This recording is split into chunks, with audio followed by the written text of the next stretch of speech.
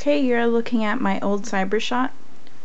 Um, I had given this camera to my toddler and he completely tore it apart. Um, behind that is just a circuit board uh, for a ceiling fan that I had but since there's very small letters I figured I could demonstrate what this camera can now do.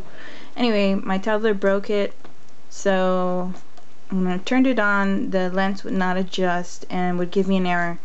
So I took the lens off and then I took this bottom part off. So you're looking at that the camera uh, from the inside. And you can see the shutter there and it opens and closes.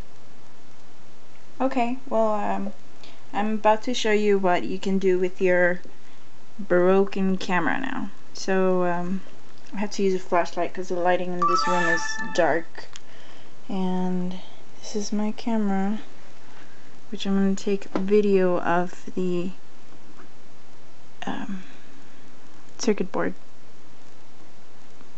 See, you have to hold it steady and you can really zoom into this. I will actually it's it's just like the lens is focusing. I don't know if you can see that.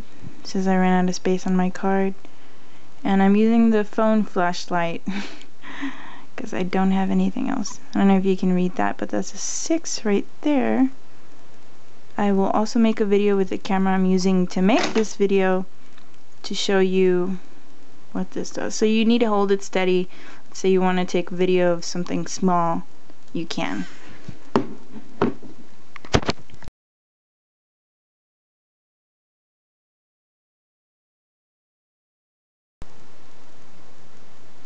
Okay, this is the video of uh, using my regular camera. I will that's as much as I can get into that. My camera does not zoom into anything. You still see everything, um, but it's not quite as magnified as while using the broken camera.